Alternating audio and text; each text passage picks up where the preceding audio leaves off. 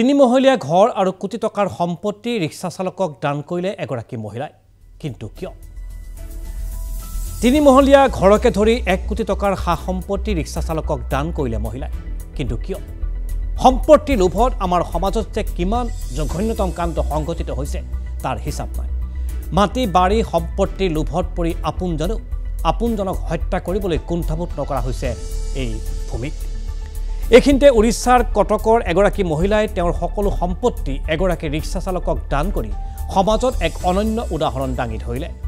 মিনতী পাটনায়ক মিনতী পাটনায়ক নামৰ তেষষ্ঠি বছৰীয়া মহিলাগৰাকীয়ে তেওঁৰ তিনিমহলীয়া ঘৰ সোণৰ অলংকাৰ আৰু সকলো সা সম্পত্তি ৰিক্সা চালক বুধা চামালক দান কৰিছে।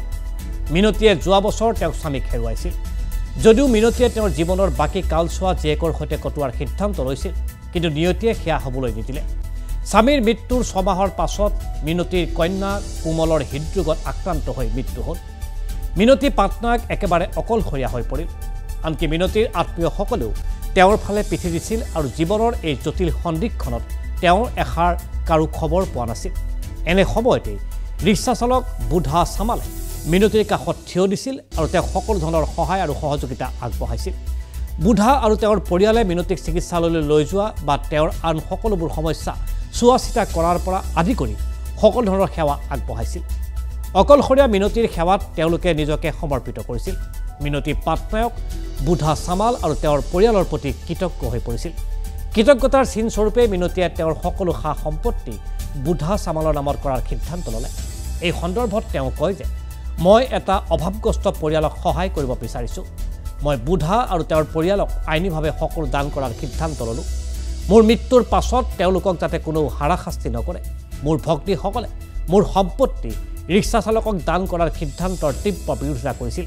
মোৰ ছোৱালী কোমলৰ মৃত্যুৰ পাছত কোনেও মোক ফোন কৰা নাছিল বা মোক কোনো ফোনত সহায় দিয়া নাছিল। যোৱা পঁচিছ বছৰ ধৰি বুধা আৰু তেওঁৰ পৰিয়াল মোৰ কাষত নিজৰ মানুহৰ দৰে থিয় দিলে। বুধা আৰু তেওঁৰ পৰিয়ালৰ সদস্যসকলে মোক সদায় সন্মান জনাই আহিছে আৰু মোৰ যত্ন লৈছে। গতিকে মোৰ যি আছে সেয়া তেওঁলোকৰ পোৱাৰ যোগ্য। বুধা আৰু তেওঁৰ পৰিয়ালে মিনতীৰ এই উদাৰ মনোভাৱক কৃতজ্ঞতা জনাইছে। বুধা চামালে কেতিয়াও সম্পত্তিৰ সপোন দেখা নাছিল বুলিও মন্তব্য প্ৰকাশ কৰিছে। লগতে তেওঁ জীয়াই থকালৈকে চোৱা চিতা কৰি যাব এইগৰাকী হৃদয়বান মহিলাক বুলিও সাংবাদিকৰ আগত মন্তব্য প্ৰকাশ কৰিছে। আৰু এনেদৰেই ৰাতিটোৰ ভিতৰতেই কোটিপতি হ'ল এগৰাকী সাধাৰণ ৰিক্সা চালক